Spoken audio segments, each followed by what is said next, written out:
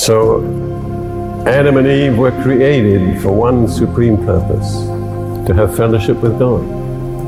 And the record makes it clear that God came each evening into the garden. It says in the, in the wind of the day, when the cool breeze sprung up in the evening, then God came to have fellowship with Adam and Eve. But you know about the serpent. And this is something I want to speak about more fully later. But God gave Adam a job. The job was to be the keeper of the garden.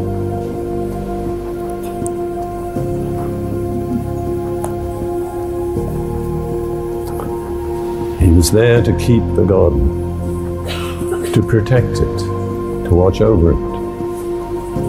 And he failed to do so. You see, the first failing of the human race was in a man. The first one actually recorded was in the woman. But the man was delinquent in his duty. Yes. He failed to be where he should have been.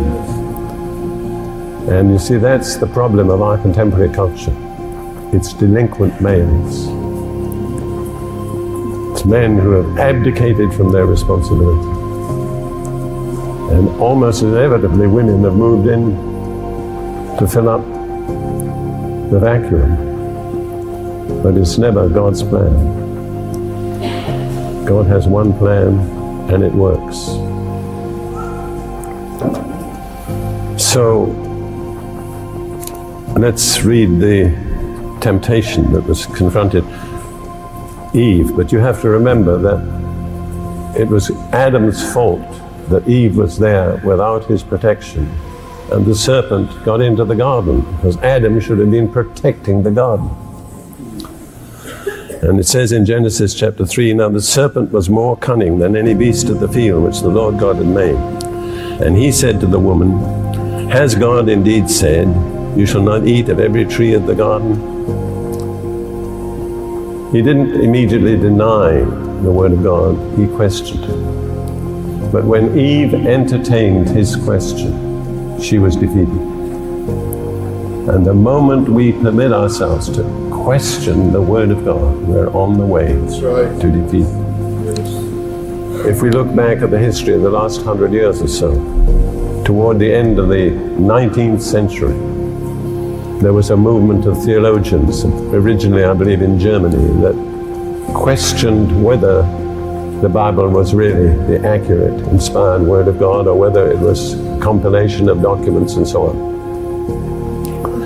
And that movement spread to other countries, to Norway, to Britain, and finally to America. But the consequences of entertaining unbelief concerning the Word of God are so disastrous that we each of us need to consider.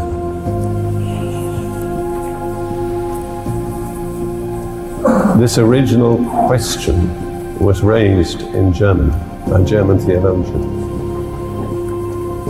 And out of Germany have come two men who have probably caused more human suffering than almost any other man in human history. The first was Karl Marx, the second was Adolf Hitler.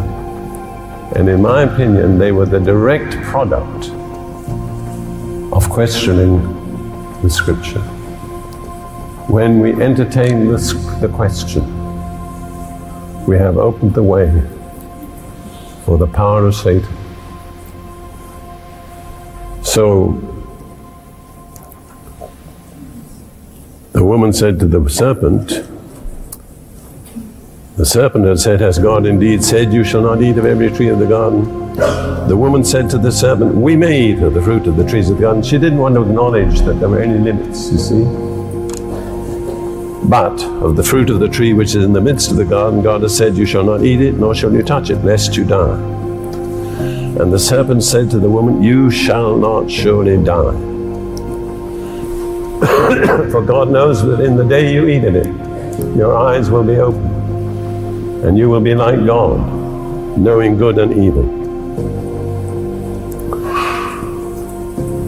You see, there are three downward steps. In the English language, each of them begins with the letter D in regard to the Word of God. To doubt it, to disbelieve it, and the third step is to disobey it. And when you begin to doubt, you will begin to disbelieve. And when you disbelieve, in due course, you will disobey. We cannot afford to entertain Satan's questions about the Scripture. It sounds very intellectual. It sounds very, what would I say, honest. We have to admit, we don't know. But it's a way to disaster. And so,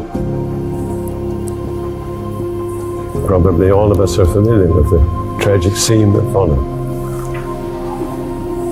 Eve ate of the tree of the knowledge of good and evil, and she gave to her husband.